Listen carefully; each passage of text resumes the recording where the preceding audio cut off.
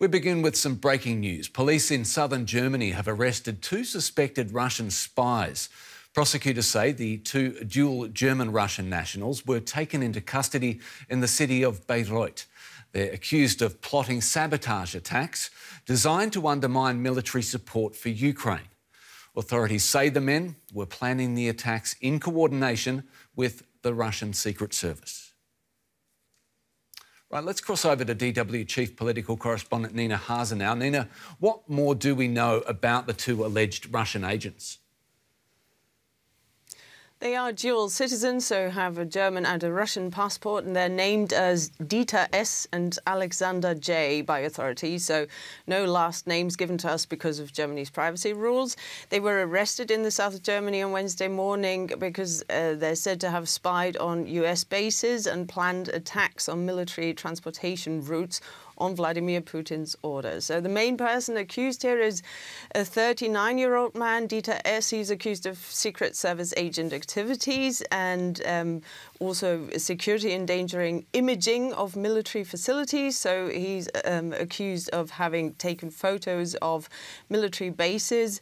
Um, specifically, he is alleged to have been in contact with a member of the Russian Secret Service and to have worked with him on sabotage plans in Germany since October last year, so 2023.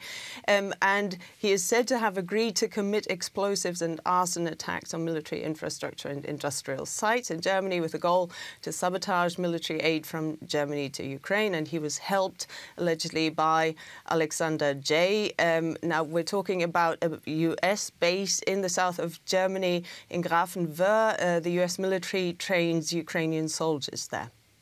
And as to a motivation, Nina, for alleged operations like this, why is Germany a target for Russian intelligence?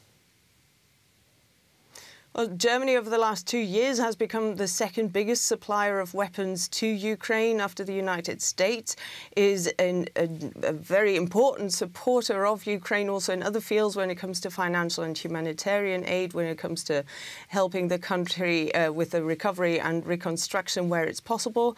Um, so the US is, of course, also a supporter of Ukraine and has large military presence in Germany. Um, and this is not the first time that we're hearing about Russian spies being arrested in Germany. There's currently actually a trial against a member of the German Domestic Intelligence Service, BND, and a colleague, a businessman, and they're accused of passing on classified documents to Russia's FSB service in the period between September and October last year and receiving some money for that. Of course, Germany also has a large Russian-speaking minority, so they are explicitly targeted by Vladimir Putin. What happens next, Nina? Well, a judge on Wednesday ordered for Dieter S. to be kept in custody pending a possible indictment, and uh, his colleague Alexander J. is expected in court on Thursday, but that's going to happen behind closed doors. DW Chief Political Correspondent Nina Haase, thanks so much.